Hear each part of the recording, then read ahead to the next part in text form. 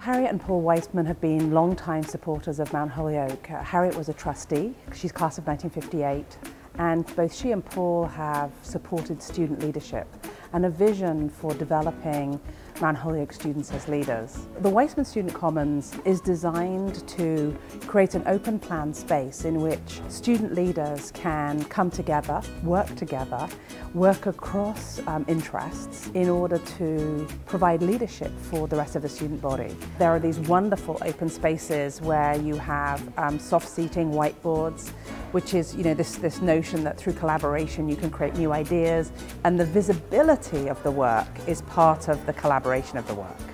Right in the Weissman Student Commons we have the student programme staff and then on the floor below we have the Vice President for Student Life and other staff responsible for residential life, religious and spiritual life. It's a real shift in how we do our work and really it allows us to walk a student down the hall and be able to say, here, come meet my colleague in this area and you can get your question answered. I don't need to send you across campus to find out that information. And we have some of our anchor organizations who are there, like the radio station and the Student Government Association, but we also have the opportunity now to allow all student leaders to come and use the space. And what we're seeing is ways that students weren't really able to engage before, they now have the opportunity to do so because of that space.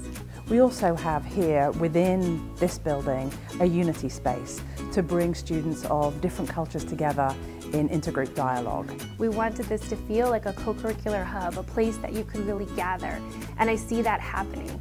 We're very excited about how this space will enhance the experience that our students have on this campus and make the most of a residential liberal education experience.